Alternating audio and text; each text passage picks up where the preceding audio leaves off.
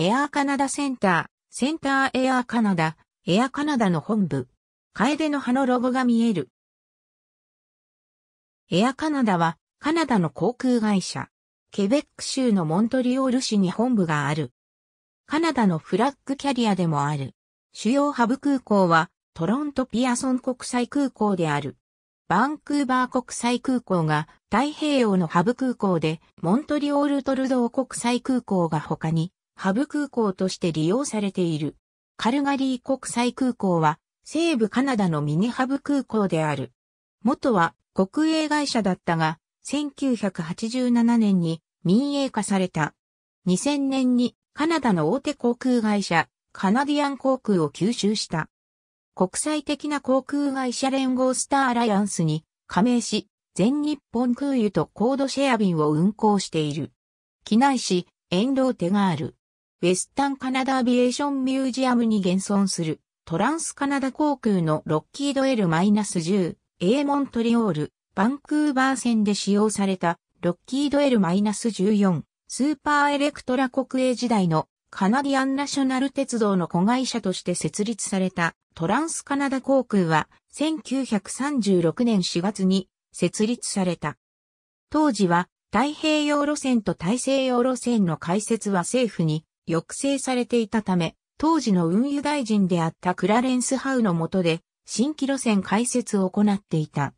1937年9月1日にロッキード L-10A を使用してバンクーバーからシアトルまで2人の乗客という便を運ぶ初飛行を行った。当時機材はカナディアンエアウェイズからロッキード L-10 エレクトラ2機とステアマンエアクラフトの服用機1機を購入し、ユナイテッド航空とアメリカン航空の役員にノウハウを学びながら運航を始めた。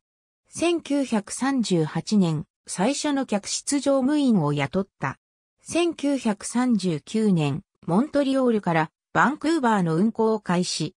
1940年には従業員数は500人に達した。1942年、カナダ太平洋航空から合併を提案されるが、当時の首相であったウィリアム・ライアン・マッケンジー・キングは、トカこそがカナダであるべき航空会社だと発言し、これを拒んだ。1964年、トカはカナダにおけるナショナルフラッグキャリアへと成長した。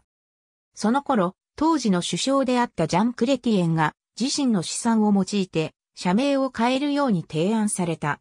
そしてトランスカナダ航空はエアカナダへと社名を変更した。1970年、政府はエアカナダの地位を確実にさせるため CP エアや地方航空会社に対して様々な規制を行った。1970年代後半、カナディアンナショナル鉄道と合わせて、エアカナダは国営企業から離脱し、民営化された。エアカナダのパイロットたちは1998年9月2日に会社の歴史始まって以来初めてストライキを起こした。カナダで2番目に大きな航空会社カナディアン航空を買収した2000年以降、世界で12番目に大きな商業航空会社となる。日本には比較的早くから乗り入れていた航空会社だが、首都圏以外にも、かつて80年代から00年代初頭にかけて、名古屋空港からカナダへ直行便を飛ばしていたこともあり、日本と北米の架け橋として貢献してきた。2002年度、エアカナダは、カナダの20都市、アメリカ合衆国への35路この航空会社は平均すると、毎日740便近く、毎年2300万人の顧客にサービスを行っている。2003年4月1日、エアカナダは破産保護の申請をした。エアカナダは最終的に19ヶ月後の2004年9月30日に破産保護を明らかにした。ACE 航空ホールディングス株式会社がエアカナダを所有し再建する新しい親会社となった。2017年2月に新塗装を発表。同国で建国150周年を迎えるためで、現行塗装の水色から一台前とほぼ同じ白と黒をまとう。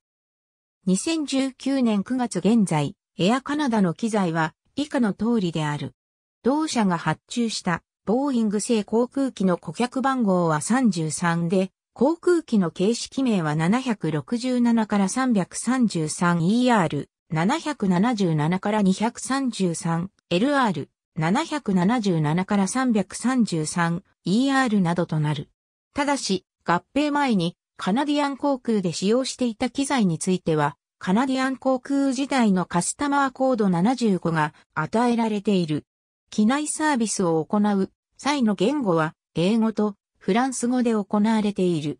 これはカナダの法律で少数派の母語を使用する国民の権利を守るため、フランス語を母語とする乗客が常時5%以上いる定期便では両方の言語で機内サービスを提供するよう定められているためである。2011年には乗客がフランス語で機内サービスが受けられなかったとしてエアカナダを訴え、カナダの裁判所が1万2000ドルの賠償を命じる判決を言い渡した例がある。ボーイング777から 300ER もしくはボーイング787から9で運行中。なお、冬スケジュール期間中は運休し、後日の東京国際空港発着便が代替路線となる。ボーイング787で運行。ボーイング767から 300ER で運行。flyteam.jp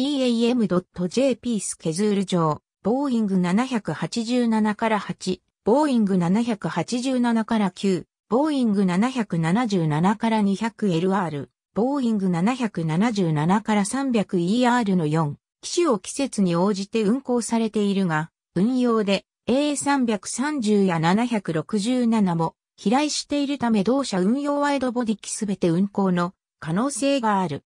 2019年6月1日から季節定期便としてエアカナダのボーイング787から8で運行。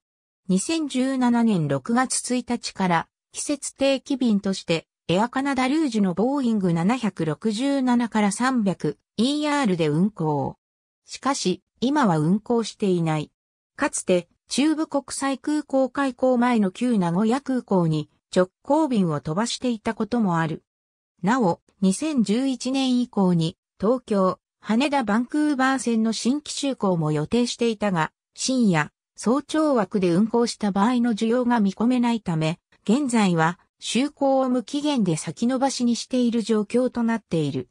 一方で、東京、羽田バンクーバー線は同じスターアライアンスメンバーの ANA が2014年3月30日から就航開始。当社のボーイング777、ボーイング767、エアバス A332 はタッチスクリーンオンデマンド式のエンターテインメントシステムが完備されている。詳細は EN エアーカナダカーゴを参照エアカナダカーゴは、提携航空会社の路線を含め150都市に路線を持つエアカナダの貨物運送部門である。詳細は EN エアーカナダエクスプレスを参照エアカナダエクスプレスは、ジャズ航空、スカイリージョナル航空、エア、ジョージアン、セントラルマウンテン航空などの地域航空会社がエアカナダのために地域路線の運行を行っている。ブランド名である。ジャズ航空はこれまでエアカナダジャズ名で運行していたが、2011年6月よりエアカナダエクスプレス名に変更となった。詳細は EN エアカナダジェッツを参照エアカナダジェッツはエアカナダの高級チャーターサービスのブランド名である。エアバス A319 を3機、このサービスのためにエアカナダ本体の運用を外れ、モノビジネスクラス58席仕様に階層5ベッド稼働させている。詳細は EN エアーカナダルージュを参照2012年12月18日に設立され、翌2013年7月1日から運行開始した。トロントピアソン国際空港を拠点とし、エアカナダから譲渡されたアジアヨーロッパカリブ海へのレジャー路線を展開する格安航空会社。機材は A319 と B767 により運行され、前期が親会社のエアカナダから移籍している。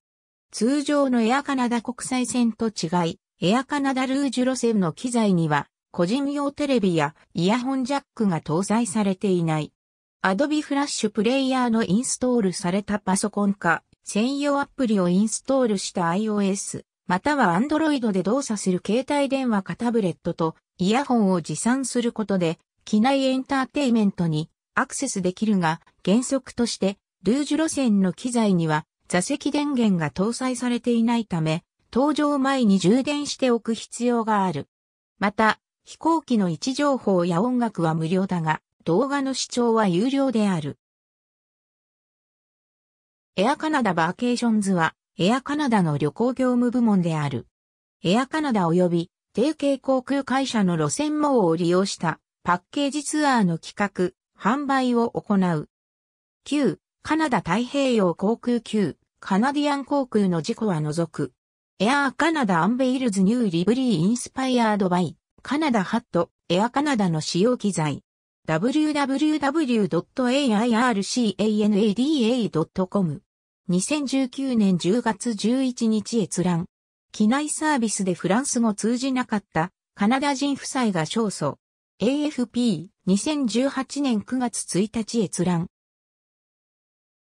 2014から2015年冬季、成田トロント線運休のお知らせエアカナダ2014から2015年度冬季、時刻表エアカナダバンクーバー線にボーイング787型機が就航します。2014年10月27日エアカナダ日本語、HP ハットエアカナダ、羽田空港へのドリームライナーのサービスをトロントより、開始。2013年12月8日15時レスポンスハット Air Canada Celebrates Launch of its Boeing 787 Dreamliner to Tokyo Haneda Air Canada Jul 15、2014 Air Canada to Launch Seasonal Flights from Vancouver to Osaka, Japan Vancouver, Sept 15、2014、CNW、 Air Canada Circles the World Adding 6 New Destinations to its Expanding International Network Air Canada September 29、